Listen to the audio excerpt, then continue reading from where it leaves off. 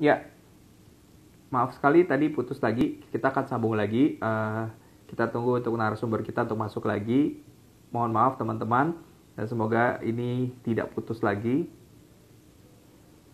Saya tunggu untuk si Hall untuk bisa masuk. Oke.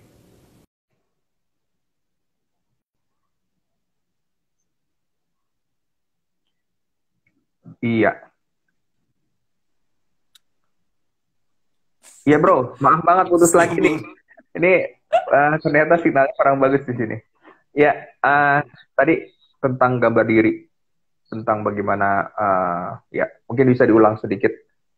Ya, jadi uh, banyak yang merusak gambar diri, bisa merusak gambar diri kita. Tadi salah satu saya sudah sebutin, mungkin uh, kejadian yang terjadi pada diri kita. Saya seperti saya contohnya kekerasan yang saya alami juga mungkin tadi perbeda um, kepribadian kita yang berbeda dari orang-orang sekitar kita akhirnya kita merasa kayak kita berbeda kita tersisih kita merasa tidak kita pikir oh itulah laki-laki dan saya nggak saya tidak punya minat yang sama seperti kebanyakan laki-laki berarti saya tidak saya bukan laki-laki. Ini adalah akhirnya suatu gagasan yang palsu yang masuk ke dalam diri kita dan itu akan merusak gambar diri kita. Nah yang mengubahkan saya ini adalah proses pembacaan firman. Kenapa? Ketika kita baca firman di situ kita belajar yang benar jadi ketika saya baca firman, di situ Tuhan bilang gini, ya ini di, di kita nggak usah jauh-jauh, ini cukup di kejadian satu. Tuhan bilang, Tuhan melihat semua yang diciptakan dan dia dia berkata itu baik. Baik. Tapi ketika dia bilang ada ketika dia sudah selesai menciptakan manusia, dia bilang itu sungguh baik. Apa baik? Ya. Nah, jadi saya ngeliat oh Tuhan cipta saya, saya kan manusia hmm. dan lihat saya apa? Oh ternyata saya sungguh amat baik. Wow itu yang mengubahkan pikiran saya sehingga meng mengubah gambar diri saya. Berarti saya adalah pribadi yang bukan pribadi saya adalah makhluk yang sangat baik ya yang Tuhan ciptakan di mata dia. Terus saya baca lagi tentang menjadi seorang laki-laki dan saya lihat di situ kayak Tuhan Yesus dan yang lain-lain. Di situ nggak dibilang ada minatnya yang tertentu kagak. Yesus malah sibuk hanya sibuk berdoa, memulihkan orang, mengajar. Nggak ada soal kayak apalah gitu kan, main bola atau apa, nggak ada gitu.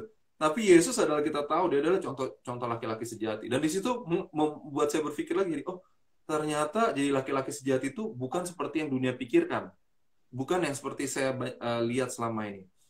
Tidak seperti yang di iklan-iklan, cowok-cowok yeah. six pack. cowok-cowok six pack ya atau apa itu apa ada sama apa harimau lah segala macam atau gitu kan. wanita wanita yang lembut gitu ya kalau yang ini kita ngomongin tentang keterkaitan yeah. sama jenis dengan wanita gitu ya yang rambutnya panjang, panjang princess iya aduh okay. pakai princess ringkih gitu kan padahal nggak semua kayak gitu kita lihat di Alkitab begitu banyak wanita-wanita yang tangguh bahkan Tuhan memakai wanita secara dengan secara spesial di, di Alkitab kita lihat. Jadi yeah. ketika kita baca Alkitab ini, itu udah buat saya suatu proses lagi pemulihan untuk saya apa gambar diri saya, pemikiran saya akan diri saya uh, diubahkan juga tadi seperti Zion bilang uh, akan hubungan kita dengan orang. Pertama salah, salah satu yang sangat khas dalam KSJ adalah adanya keterputusan hubungan antara ayah dan anak. Bukan hmm. secara fisik mungkin ya, tapi secara emosional biasanya lebih sering. Ya. Dan yang salah satu yang sangat memulihkan saya adalah ketika saya menyadari, oke, okay, Bapak di dunia saya ini tidak sempurna tapi saya punya Bapak di surga yang sempurna. Dia yang mengasuh saya, dia yang memberikan saya identitas, dia yang memberikan saya arahan. Dan buat saya itu adalah suatu pemulihan karena akhirnya saya punya hubungan bapak anak yang selama ini mungkin saya kurang begitu rasakan. Oke, okay. ya.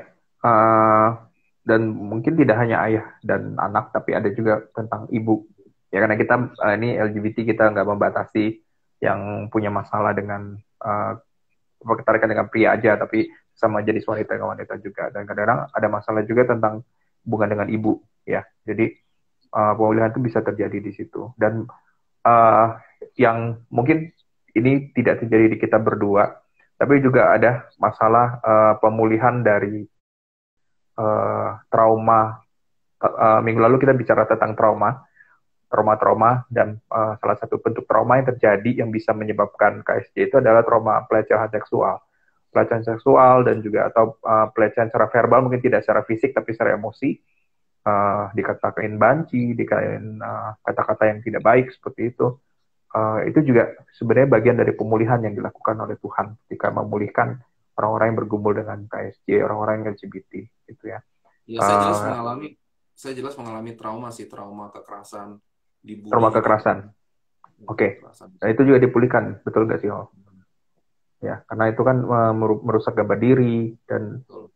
ya kalau yang mau tahu lebih banyak bisa ikuti rekaman yang uh, IG live minggu lalu tentang trauma karena efeknya besar sekali ternyata gitu ya bisa dibawa dan bisa memicu hal-hal yang mungkin tidak ada hubungannya tapi itu memicu memberikan ketakutan orang yang segala macam nah, itu uh, bagaimana cara memulihkannya ya Tuhan yang atau dalam atau seperti yang saya rasakan trauma itu membuat saya selalu merasa marah dan saya nggak ngerti kenapa anger selalu ada ya. rasa marah dulu nggak tahu kenapa karena itu nggak pernah merasa tidak adil merasa tidak adil diperlakukan seperti itu. Jadi waktu kecil yang nggak bisa marah, waktu kecil kan tidak berdaya.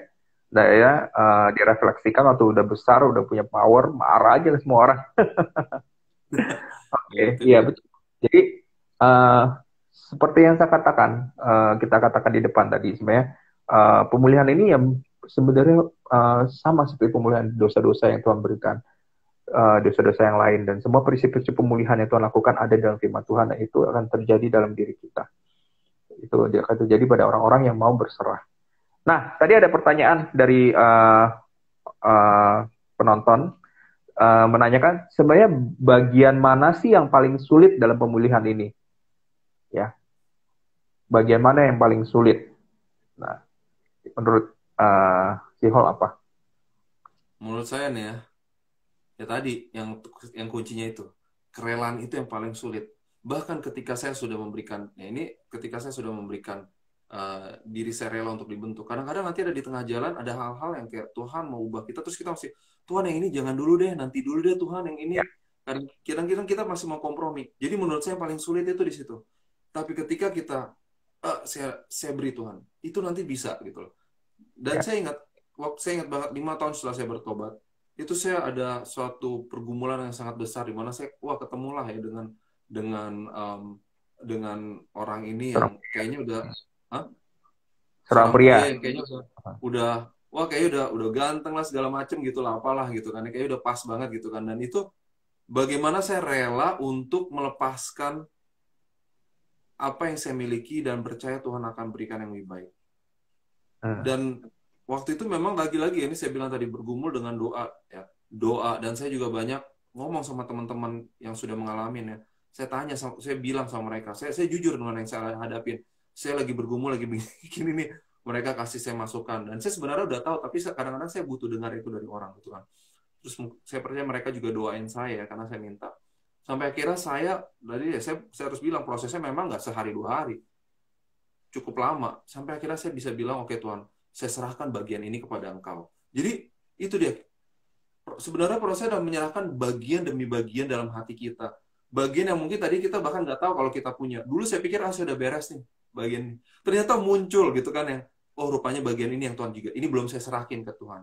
Nah, nah jadi yang paling menurut saya paling kunci paling sulit itu rela menyerahkan bagian itu kepada Tuhan. Dan ya, tadi seperti ya. kita udah bilang, Tuhan nggak cuma pengen bagian seksual doang, kok Tuhan pengen semua bagian dari hati kita. Oke, okay.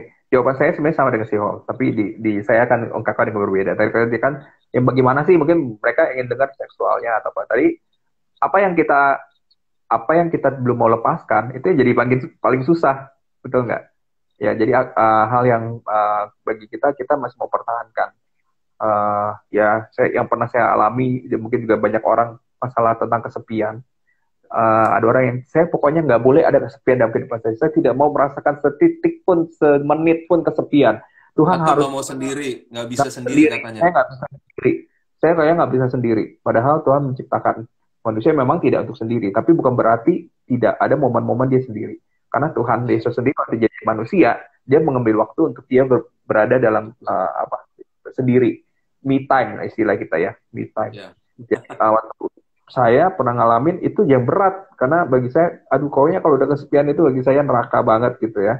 Dan saya nggak mau ada kesepian. Saya menuntut Tuhan Tuhan ini nggak boleh ada dalam uh, kamu saya. Dan akhirnya Tuhan bilang siapa lo? Gitu ya. Uh, Tuhan bilang saya mau kamu ada ada waktu untuk kamu sendiri supaya kamu bisa merasakan uh, bisa ya sendirian itu punya banyak positif hal positif walaupun ada yang sebaliknya. Ada yang orang yang maunya sendiri terus tidak mau untuk bergaul dengan orang lain. siapa ya kira-kira ya? Ah nah itu juga kadang-kadang ada orang yang susah untuk membuka diri gitu ya. Begitu mau ngomong uh, intem hal yang dalam yang yang dalam yang meaningful dengan orang dia gelisah. Dia nggak bisa membuka diri. Nah eh, bagi dia mungkin itu yang susah untuk dia dia apa dipulihkan gitu. Nah bagian-bagian itu yang yang mana ya masing-masing jawabannya bisa beda-beda. Tapi kalau begitu kamu mau serahkan itu kepada Tuhan apa aja deh Tuhan yang lu lakukan terserah gitu. Itu akan jadi mudah. Tapi waktu untuk kita mengambil keputusan itu yang kalau kita sering uh, sebut-sebut menyangkal diri itu sebenarnya bagian menyangkal dirinya. Artinya kita nggak nggak mau lagi uh, menganggap itu suatu hal yang perlu kita pertahankan gitu. Tapi kita mau lepaskan ke dalam ke dalam ke tangan Tuhan seperti itu iya nah uh, supaya kita juga memperkenalkan TLC sedikit gitu ya jadi sebenarnya apa sih fungsinya komunitas dalam proses pemulihan gitu kenapa perlu ada komunitas. Kalau si kan waktu pemulihan itu mungkin ada komunitas di si Hall. Uh, ada pengalaman lain nggak? Oke. Okay. Ada orang-orang lain. Ya, jadi memang fungsinya itu sangat besar ya karena ini saya selalu lagi-lagi akan saya selalu ulang bahwa kalau kita baca di Alkitab tidak ada yang namanya pengikut Yesus seorang diri itu nggak ada. Ya. Makanya di, di, di, di, apa diilustrasikan sebagai tubuh Kristus ya. Tubuh itu nggak mungkin cuma king doang atau jempol doang. nggak mungkin bahkan saya pun walaupun katanya saya bisa dibilang bertobat tanpa ada orang yang ngomong ke saya ya lewat saya berjumpa dengan Tuhan tapi setelah itu pun saya tuh selalu mencari-cari orang yang saya bisa apa ya berkoneksi berhubungan berjejaring untuk saling menguatkan saya butuh itu entah kenapa saya rasakan itu dan saya selalu mencari itu gitu dan fungsinya sangat besar tadi seperti saya bilang ketika saya mulai saya tahu nih saya mulai aneh-aneh ya saya tahu nih saya mulai aneh-aneh Salah satunya dari itu, saya langsung ngomong, saya bilang, saya mengalami gini, tolong saya, doakan saya. Mungkin nggak beres saat itu juga, tapi kalau kita mau sungguh-sungguh, pasti itu akan beres, percaya. Dan saya saya rasakan itu. Dan banyak hal lain lagi, dari komunitas ini saya belajar banyak kebenaran gitu kan. Tukar pikiran, dengar pengalaman mereka gimana. Dan itu sangat memperkaya saya sebagai seorang, sebagai pribadi. Dan mempersiapkan saya juga untuk melayani. Jadi hmm. fungsi komunitas ini sangat besar ya. Tapi semua itu harus tetap berjalan dengan hubungan kita dengan Tuhan karena akhirnya banyak juga orang yang komunitas cuma sebagai kayak apa ya cuma senang temenannya doang ya kumpul-kumpul okay. aja gitu ya oke okay. ya uh, kalau pengalaman saya uh, soal komunitas dan orang lain yang berpengaruh dalam perubahan saya dalam pemilihan saya itu sangat besar. Uh, ya memang Tuhan sih nomor satu. Tapi Tuhan memakai orang-orang di sekeliling saya gitu. Uh, jadi uh, dimulai dari bagaimana saya pertama-tama membuka diri dengan satu satu orang teman dan berani mengakui dan uh, terbuka tentang pergumulan keterangan sebagai saya. Itu awal mula pertama kali saya benar-benar menceritakan itu kepada orang yang bukan bukan gay juga ya kalau sama sama gay sih uh, biasanya dengan senang hati kita uh, membuka diri gitu ya. Tapi itu benar-benar suatu pergumulan gitu untuk bisa cerita dengan orang itu. Tapi justru itu awal di mana saya menemukan bagaimana orang itu tidak menghakimi saya, dia me, apa me, mengerti saya ya, walaupun mungkin dia tidak setuju dengan apa yang apa yang saya lakukan, tapi dia mengerti saya dan dia ingin menolong saya. Dan itu yang pertama-tama memang bukan bentuknya komunitas, tapi orang lain yang kita terbuka dan membuka uh, sisi gelap kita, membuka hal yang sudah kita kubur sendiri selama bertahun-tahun mungkin. Dan uh, dari situ saya dipertemukan dengan komunitas dengan komunitas di mana saya bisa benar-benar merasa saya bisa ngomong apa adanya tentang pergumulan saya dan juga cuma ngomong tapi ada orang yang membimbing saya. Yang istilah kita mentor ya. Istilahnya saya juga seorang mentor yang menunjukkan kepada saya uh, menemani perjalanan saya lah istilahnya. Menemani perjalanan saya. Dan menunjukkan jalan Kristus jalannya Tuhan yang mana yang harus saya lakukan. Dan dia juga punya punya pengalaman-pengalaman dia sendiri yang membuat saya melihat ini bukan teori tapi bagaimana dia sudah membuktikannya gitu. Jadi uh, ya dengan apa yang sudah saya bagikan dan saya bagikan Transform Life Community atau TLC ini juga sebenarnya memfungsikan diri sebagai itu. Jadi kita menjadi mau menjadi satu komunitas di mana kamu bisa merasa aman dan nyaman untuk terbuka dengan pergumulan kamu, uh, terbuka untuk menceritakan hal-hal yang mungkin uh, selama ini belum kamu ceritakan ke orang lain dengan rasa aman. Tapi bukan cuma untuk diceritakan kemudian digosip, uh, digosipkan tidak sama sekali, tetapi justru kita akan menyerahkannya kepada Tuhan dan meminta hikmat kepada Tuhan bagaimana Tuhan mau pulihkan itu. Proses apa yang mau Tuhan lakukan. Dan kemudian kita mau jadi teman seperjalanan. Itu dengan uh, ya kita ada mentor-mentor yang uh, ikut serta dalam proses orang tersebut gitu ya. Dan uh, yang tadi kita kita udah bahas ada hal yang sulit gitu ya. Yang nggak mau dilepaskan gitu ya. Dari uh, murid-murid kita juga kita ngalamin gitu ya ini yang ini kok nggak mau melepasi ini yang itu mau ngelepas ini yang ini masih terpengaruh mantan yang ini masih terpengaruh gebetan ini terpengaruh macam-macam nah justru di di komunitas inilah uh, kita uh, berusaha untuk uh, mengarahkan kembali, mengingatkan apa yang Tuhan mau gitu ya. Tidak ada memaksakan gitu ya. Tidak ada uh, kalau kamu nggak nggak mau putus, nanti kamu nggak boleh datang lagi gitu ya. ya seperti itu. Tapi kita berusaha mengingatkan. Dan Roh Kudus akan terus mengingatkan kamu dan decision ada di diri diri masing-masing uh, kita. Ke mana kita mau uh, me menjalani pemulihan ini? Ini proses perjalanan. Ya, karena itu kisah perjalanan kisah perjalanan Sihol, kisah perjalanan saya sudah membuahkan hasil dan uh, hasilnya uh, buah yang manis. Manis nggak Hol? Manis dong. Manis banget gitu ya. Buahnya Tuhan yang yang yang bekerja lewat kita yang menghasilkan buah itu. Ya. Kita ya. dengan ketaatan kita itu semua apa buah kita jadi berbuah. Ya. Dan komunitas ini juga mungkin satu hal yang uh, tadi kelupaan, ini membantu kita untuk menjaga kita, betul nggak? menjaga kita ya. karena ya kita masih ada pergumulan kan ya. Ya, ya akutabilitas ya. Akutabilitas untuk kita mau benar-benar tetap berjalan itu. Dan sebenarnya akutabilitas itu diperlukan gak cuma untuk teman-teman KSD, untuk teman-teman semua orang-orang Kristen dan tubuh Kristus dia perlu akutabilitas semua orang lain.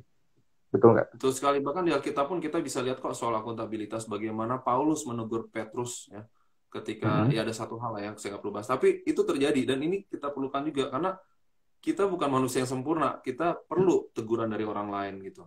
Belum tentu kita selamanya bisa dengar teguran dari Tuhan gitu kan. Ada kalanya Tuhan atau bahkan memang Tuhan pakai orang lain untuk menegur kita. Hmm. Yang atau pakai keledai. atau pakai keledai ya kan. Kayak iya. kalau orang udah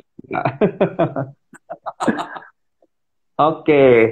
Ya, kayaknya waktu kita sudah ini walaupun tadi tiga kali putus tapi semoga uh, apa yang kita diskusikan bisa memberikan banyak inspirasi khususnya untuk teman-teman di luar sana yang saya tahu masih bergumul dan untuk teman-teman yang merasa nyaman dengan keadaannya ya kami tidak uh, tidak memberikan jasa apa pun.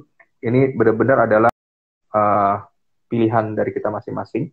Dan uh, tapi saya mau memberikan satu hal bahwa uh, kita punya pilihan. Jadi banyak orang bilang ya saya udah lahir seperti ini I born this way gitu kan.